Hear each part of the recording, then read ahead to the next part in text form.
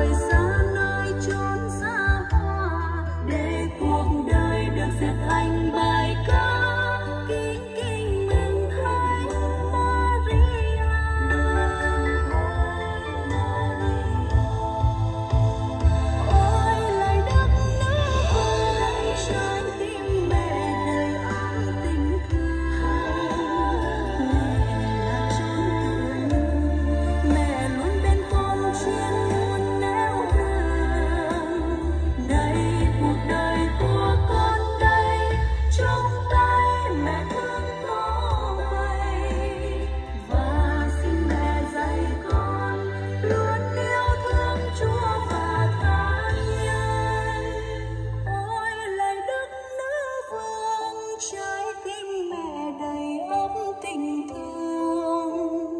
Mẹ là chốn tựa nương mẹ luôn bên con trên